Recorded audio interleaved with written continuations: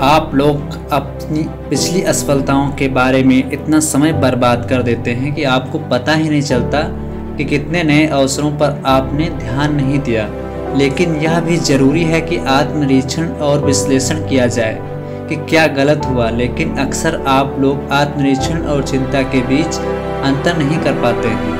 आपको अपने नज़रिए को बदलना होगा। ध्यान रखें कि अगर आप गलतियाँ नहीं करते हैं तो आप कभी भी आगे नहीं बढ़ सकते। क्या आपको याद है कि आप जब छोटे थे, चलना कैसे शुरू किया था? आप न जाने कितनी बार गिरे होंगे। फिर भी आप चलने के लिए हर समय उत्कृष्ट रहे होंगे। यह केवल इसलिए हुआ क्योंकि उस समय आप बच्चे थे तो आप असफलता की कल्पना नहीं की थी। जैसा कि आप करते हैं। जब आप बड़े हो जाते हैं तो आप यह मानने लगते हैं कि यदि किसी चीज़ में असफल होने की संभावना है तो उसे प्रयास करने का कोई मतलब नहीं। इससे आप अपने लिए बड़ी चीज़ों को छोड़ देते हैं और अपने सुविधा क्षेत्र में रहकर अपने स्वयं के विकास को सीमित करते हैं।